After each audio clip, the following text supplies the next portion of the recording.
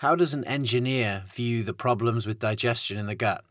We asked Steve Wright on the panel at the Functional Forum from Boulder.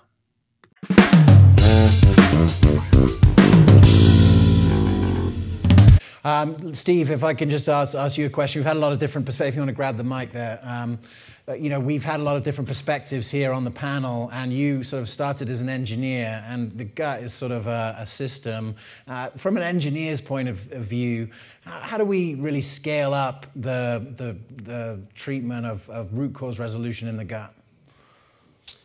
Yeah, so uh, you know, as these this amazing, talented speaker lineup here said, uh, the body is just so made up of all these different systems, and they're all interacting and um, functional medicine is making, I think, leaps forward in taking this into consideration. And obviously, we know that um, traditional medicine is is not sort of respecting these interplay of systems. And so, I think. Um, I think we can make even some more leaps forward if we continue to think about the systems theory of how things work together.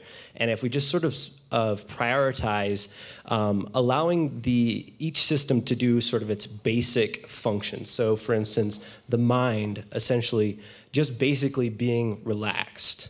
Um, for instance, the stomach, basically just being able to make stomach acid. So if we, the mind is relaxed there's still no stomach acid, betaine HCl. Uh, pancreatic sufficiency with, with enzymes, things like that. If we can just allow each system even the adrenal system, maybe just uh, some nutraceuticals or something.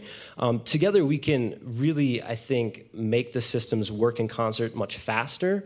And uh, functional medicine, I think, can be simplified through that perspective. And then the advanced testing that we all love, that I love, um, can really allow us to, to make uh, much faster healing profiles. And I think the complexity of cases will come down if we kind of take into account all these different variables and just try to get the minimum effective dose for each system.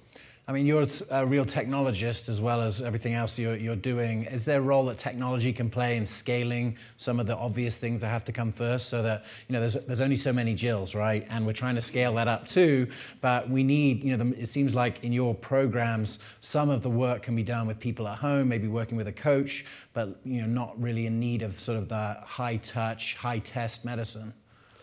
Yeah, I think I think we're all on the same page here that patient empowerment and uh, a return to body, uh, as Mark was talking about, a return to responsibility of individual is where this is all going. And so the experts on stage here, the experts in the room, you guys are all book solid, and the people coming up um, are following in your wings. But it's all coming down to personal responsibility, and I think that's where the internet is changing the game. Um, we can now empower people to be their own um, somewhat stewards. Because grandma used to have a medicine cabinet and it was only 60 years ago that the doctor got called when you'd tried every remedy in the family and now your loved one was literally dying. And so that worked i mean decently well and so i think that through the uh, different algorithms that were uh, the tech companies in the room, the, the blogs, the, the different websites, just empowering people to take responsibility, we can move this trend big time. And then when you hit the, the lupuses, when you hit the IBDs, when the damage that accumulated over many, many years, that's when you know these experts, I think, are gonna they're never going to be replaced. We're always going to need them.